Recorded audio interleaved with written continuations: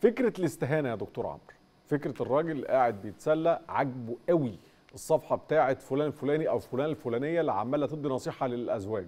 أو هي اللي قاعدة تتفرج على فلان الفلانية اللي عمالة تدي نصائح للزوجات وعمالة تذم في الرجالة ولو قال لك بم مش عارف إيه ولو قال لك إيه خدي شنطتك وروحي على فين.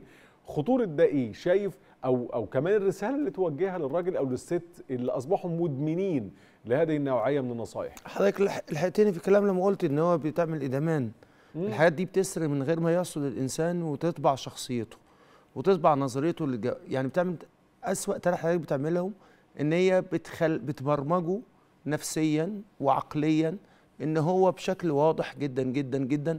يبقى دي صورة الجواز اللي عنده م. ان هو يتجوز ويبقى الجواز أسوأ ظاهرة إن الجواز يتمحور حواليه.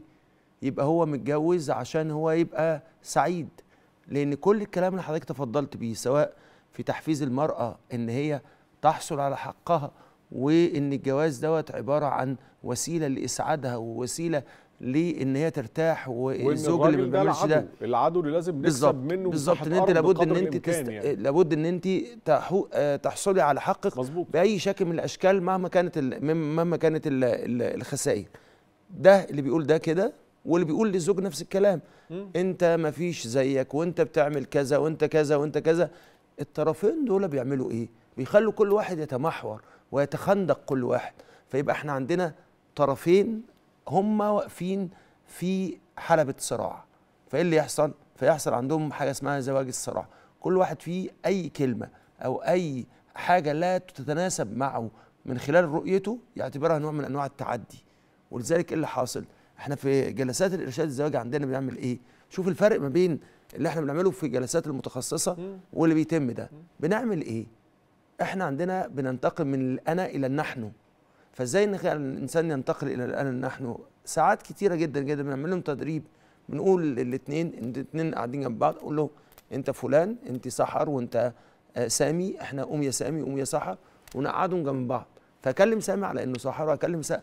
وأكلم سحر على إن هي سامي. وكل واحد يبتدي يفكر في شريك حياته عشان يطبق حديث رسول الله صلى الله عليه وسلم. لا يؤمن أحدكم حتى يحب لأخيه ما يحب لنفسه. تخيل بقى إحنا بنعمل إيه؟ بنكسر الانا عشان نقدر ن... عشان نقدر نروح للنحن ونندمج. ده ما بيح... ما بيحصلش ما بيحصلش ده. فأول شيء بيتم هو ما يسمى تحويل الزواج إلى حلبة صراع. ده بيحصل ببساطة خ... الناس بتعمله الناس بتعمله الناس فاكرة نفسها بتتسلى أو بتضحك. إن... ولكن ورا الضحكة دي هو بيرسخ مفاهيم يعني عند يعني الراجل أو الست. يعني خليني خليني أقول لحضرتك أنا اتعودت كل ما اطلع على الهواء يبقى قدامي كوباية مية واشربها في كل بقى لو اني طلعت على الهواء من كوباية مية مش موجودة أنا حاسس بانزعاج. فهو الرسائل اللي هو بيسمعها طول كل يوم دي وهو وهو ادمنها هيبقى خلاص جزء من حياته جزء من البرنامج بتاعه جزء من تفكيره صح. جزء من رؤيته. الخطر اللي عندي ان الاسرة في هذا السياق تضيع. ويبقى الشخص كأنه دخل سوبر ماركت عايز اللي هو عايزه. طبعا. عايز يحصل على لذته ومتعته مش عايز يحصل على السعادة. والمفهوم التاني بقى اللي بيحصل إحنا مش دارين طبعا إحنا قاعدين بقى متخ- متخصصين قاعدين نحلل إيه المصايب اللي بتحصل. أول حاجة بتذهب قدسية مفهوم الأسرة ومفهوم الزواج. تاني مصيبة بيتحول ب- بننتقل من السعادة إلى اللذة. أنا عايز لذتي لأن السعادة حياة بعيشها. لكن اللذة ده شيء وقت أنا عايزه دلوقتي. فإيه اللي حاصل؟ أنت لو ما ارتحتيش آه، مارس التمرد ومارس الع- العصيان.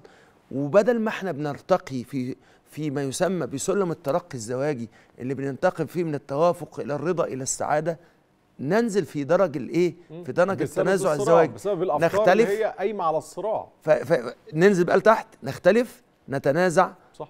يحصل شقاق. مظبوط. فشوف حضرتك كم الانحدار اللي بيحصل. يبقى أول حاجة ذهبت قدسية الزواج وقدسية الأسرة. تاني حاجة ببساطة خالص حصل عندنا نوع من أنواع خيبة ال- الأمر الأمر بقى اللي بي المهم بعد ما تذهب قدسية الزواج وندخل في مسألة الصراع الزواجي مم. كمان يحصل خيبة الأمل من الحل. مم. ليه طيب؟ لأن خيبة الأمل من الحل بتيجي منين؟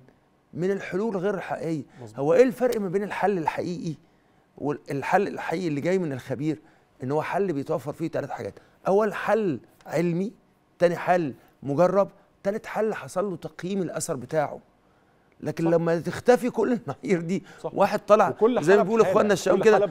واحد طيب زي ما بيقول كده إخواننا الشباب طلع يطق حنك.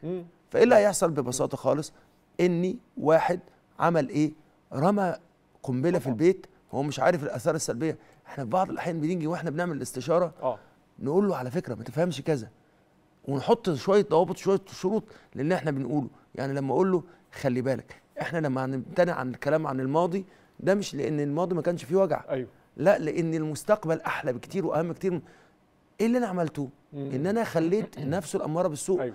ما تقولوش وهم فيصدقه فأنا عملت له حاجز ما بين ده وده. ونحط له شوية محاذير ونحط له شوية إجراءات. مم. كل ده مش هيحصل. غير لما يكون في خبير هو اللي بيكلمه. طبعا.